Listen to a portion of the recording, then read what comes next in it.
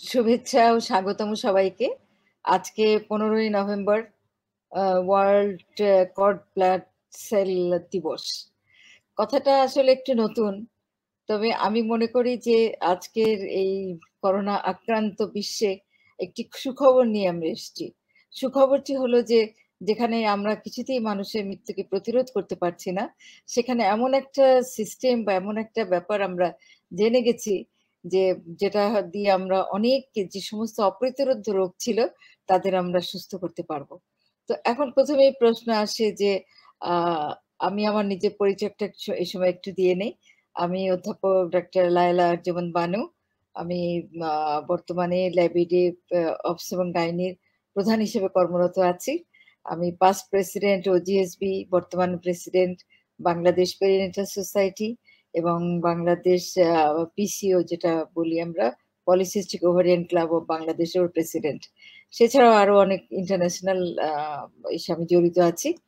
তো আমার খুব ভালো লেগেছে যখন এই ব্যাপারটা আমি প্রথম জানতে পারি। তো কারণ হলো যে আমরা মানুষের দেহে অনেক অসুখ হয়, অনেক কিছু। যেটা হয়তো দেখা যাচ্ছে যে ৯০ ভাগ আমরা আজকাল যে আমাদের যে যে আমাদের চিকিৎসার যে সেবা শুশ্রূষা এবং চিকিৎসা দিয়ে আমরা হয়তো ৯০ ভাগ আমরা সেটা ভালো করতে পারি। কিন্তু কিছু, কিছু ক্ষেত্রে যেমন বাকি দশ পার্সেন্টের ক্ষেত্রে কিন্তু আমরা অনেক সময় অসহায় হয়ে তাকিয়ে থাকি। কিছুই হয়তো করার নেই। একজন ক্যান্সার পেশেন্ট অনেক সময় আমরা জানি কিন্তু তাকে কিছু করতে পারছি না। কারও হয়তো রক্তের সমস্যা আছে তাকে কিছু করতে পারছি না। ছোট একটি বাচ্চা জন্ম নিয়েছে তার যে সমস্যা, সেই সমস্যার আমাদের কাছে কোনো চিকিৎসা নেই।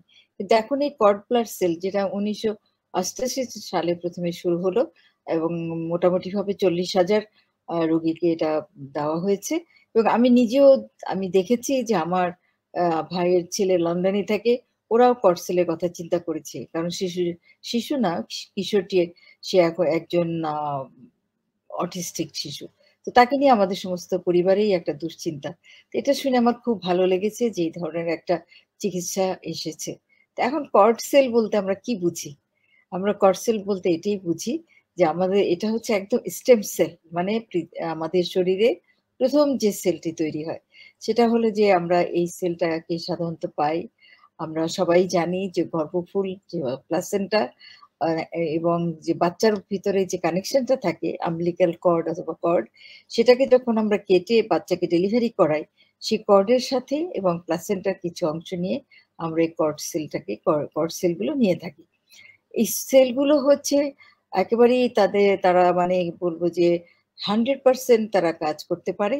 কিন্তু তারা জানে না যে বাইরে থেকে যদি কোনো সেল আসে, তাহলে তা কেমন করে তাদের সাথে যুদ্ধ করতে হবে। তো সেই জন্য কিন্তু একটা মানে একটা বেশ ভালো জায়গায় যেটা আমরা মনে করি যে ট্রান্সপ্লান্টেশন যেখানে হচ্ছে, সেখানকারে, সেখানে কিন্তু দেখা যাচ্ছে যে কর্ড সেল নিয়ে যদি আমরা ট্রান্সপ্লান্ট করি তাহলে তার ফলাফল অনেক ভালো। এই কারণে ভালো যে ওই সেলগুলো তো জানে না যে কেমন করে করবে কাজে প্রতিরোধ ক্ষমতাটা অনেক বেশি বেড়ে যাচ্ছে। এখন আমাদের শরীরে বা আমাদের মানুষের শরীরে কত রকমের অসুখ হয়। কত রকম থ্যালাসেমিয়া রক্তের অসুখ যেটা থ্যালাসেমিয়া হচ্ছে, নানান ধরনের রক্তের অসুখ হচ্ছে, নানান ধরনের ডিজিজ হচ্ছে। সেই ডিজিজগুলো নিয়ে কিন্তু আমরা সবসময় আমরা সফলতা অর্জন করতে পারি না। সেখানে কিন্তু আমাদের এই কর্ড সেলের একটা দারুণ ভূমিকা আছে। তা আমার মনে হয় যে আমি আমাদের দর্শকদের জন্য যে সহজ ভাষায় এটা বলতে চাই খুব একটা মেডিকেল টার্মস না, যাতে তারা বুঝতে পারেন। আমাদের গাইনোকোলজি বা স্ত্রীরোগ বিশেষজ্ঞদের কাছে অনেক আ প্রেগন্যান্ট মহিলারা আসেন এবং আমি মনে করেছি যে তারাই এটা তাদের এটা বেশি করে জানা উচিত। যে আজকে যদি ওখানে একটু কর্ড সেল বা স্টেম সেল রেখে দেওয়া হয়, যেটা আমাদের কর্ড সেল যে আমাদের প্রতিষ্ঠান আজকে এটা অ্যারেঞ্জ করেছে, তারা সেটা সংরক্ষণের ব্যবস্থা করে। সংরক্ষণটা কিন্তু একেবারেই চমৎকার এবং তার মধ্যে কোনো ফেলিওর নেই। কোনো ব্যথা পাবে না শিশু, কোনো কিছু হবে না। কিন্তু সেটা সংগ্রহ করা যাবে এবং ভবিষ্যতে যখন ওই শিশুটির কোনো অসুখ হবে অথবা তার পরিবারের আশিটি রোগের চিকিৎসা কিন্তু এই কর্ড সেল দিয়ে হতে পারে। কাজে আপনারা ভেবে দেখতে পারেন যে এটা কত চমৎকার একটা ব্যাপার। তো আমি সেজন্য মনে করি যে আজকের এই দিনটি আমাদের জন্য আমাদের এই মানব সম্প্রদায়ের জন্য একটা বিশেষ দিন। যে এই দিনে যেমন ইনসুলিন যখন আবিষ্কার হয়েছিল যখন আমরা চিন্তাই করতে পারতাম না। যখন ক্যান্সারের কিছু চিকিৎসা আবিষ্কার হয়েছিল, তখন যেমন আমরা মনে করেছিলাম যে সেই দিনগুলো ছিল একটা স্পেশাল ডে। আজকের দিনটাও কিন্তু একটা স্পেশাল ডে। এই যে স্টেম সেল অথবা কর্ড সেল আমরা নিয়ে আমরা যদি প্রতিস্থাপিত করতে পারি যে কোনো জায়গায় যেখানে অসুস্থ, সেখানে কিন্তু সেই সেলটাই গ্রো করতে পারে এবং সেই যেখানে আমরা সেলটা দিয়েছি তার যে কাজটা, সে কাজটা কিন্তু তারা করতে পারে। আমাদের দেশে কিছুদিন থেকে আমরা শুনেছি যে হাঁটুর ব্যথার জন্য বা হাঁটুর জন্য আমরা স্টেম সেল আমরা করি এবং অনেকেই কিন্তু বেশ সফলতা পেয়েছে।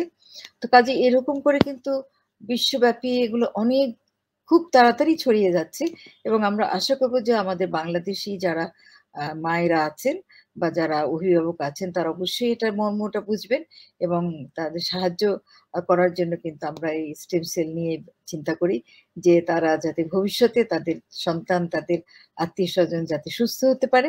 সেজন্য আমরা স্টেম সেল তাদের আমরা বলব যে আপনারা অতটুকু টিস্যু দিলে কিন্তু মা বা বাচ্চা কারও কোনো ক্ষতি হয় না এবং বাচ্চা তো একেবারেই না। মায়ের প্লাসেন্টার ওখান থেকে আমরা টিস্যুটা নিই বা কর্ড সেল নেওয়া হয়।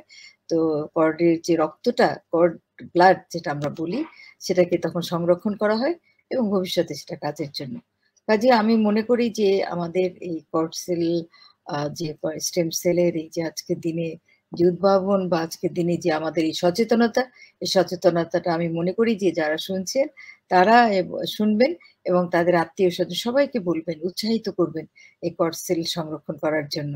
তো কাজেই আমি কর্সেল, যে আমাদের এই সংস্থা আছে, তাদের আমি ধন্যবাদ জানাচ্ছি। একটি চমৎকার ব্যাপার তারা আমাদের এখানে বাংলাদেশে এনেছেন এবং আশা করব যে এটা খুব তাড়াতাড়ি সফলতা অর্জন করবে। আমরা সবাই যেন সবাইকে, আমাদের, বিশেষ করে আমাদের রোগীদের, যারা প্রেগনেন্ট লেডি আছেন গর্ভবতী মহিলাদের যেন অবশ্যই আমরা সচেতন করি। তা আমি মনে করি যে আমি যেটুকু আমি বলতে চেয়েছিলাম, হয়তো বলতে পেরেছি, আরও হয়তো অনেক কিছু বলার আছে। কিন্তু স্বল্প পরিসরে আমরা আজকে এখানেই শেষ করছি। সবাইকে অনেক অনেক ধন্যবাদ জানাচ্ছি এবং এই পট সেল স্টেম সেলের আমরা মানে উত্তরোত্তর সাফল্য কামনা করে মনে করি যে, আমাদের ভবিষ্যতে অনেক দুরারোগ্য ব্যাধি বা অপ্রতিরোধ্য যে অসুখ আছে, সেগুলো যাতে আমরা চিকিৎসা করতে পারি। তো অনেক অনেক ধন্যবাদ। আপনাদের আবারও ধন্যবাদ জানাই যারা এটা অ্যারেঞ্জ করেছেন। এবং গডসেলের স্টেম সেলের আমরা সফলতা কামনা করি। ধন্যবাদ।